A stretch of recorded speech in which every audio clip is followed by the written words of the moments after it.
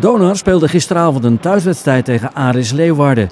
In een eenzijdig duel was Donar de veel betere ploeg tegen een onthutsend zwak Aris. Donar won de wedstrijd met 86-54. Ja, zeer overtuigend. We verdedigden heel erg goed. En als we verdedigen stop kunnen maken, dan, eh, dan kunnen we rennen. En ja, vandaag speelden we gewoon heel, eh, heel rustig en heel, eh, ja, heel goed. Ja, aanvallend liep het, maar vooral verdedigend. Uh, jullie houden uh, Leeuwarden uh, tot de derde kwart op 40 punten. Ja, dat is, dat, dat is heel erg goed. Dat, dit is denk ik onze beste wedstrijd tot nu toe in de competitie.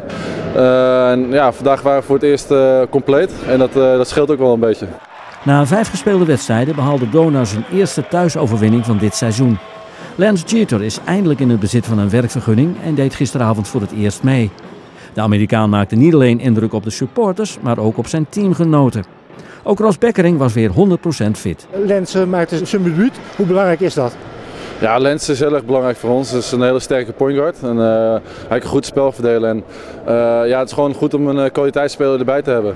Ja. En dan ook Ros Bekkering weer fit. ja, dat, dat scheelt ook. Ja, dat scheelt ook heel erg. Ros is ook heel erg belangrijk voor het team. we hebben toch nog meer kracht in site. En ja, dat was hartstikke nodig dit seizoen.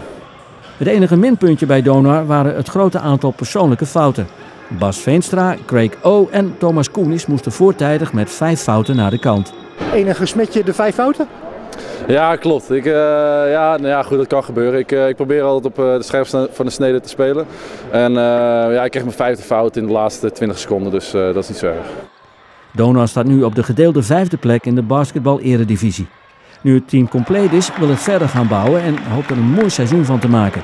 Ja, kijk, we zijn, we zijn van het begin af aan uh, gaan bouwen en uh, we waren nog niet compleet en dat is gewoon heel erg lastig. En nu we compleet zijn, kunnen we echt als team gaan bouwen en dan kunnen we gewoon samen verder gaan. En uh, dit is een hele goede eerste stap en ik, we moeten gewoon zo, zo, verder, zo verder gaan. De volgende wedstrijd voor Donar is op zaterdag 8 november uit tegen Maxcon BSW in Weert.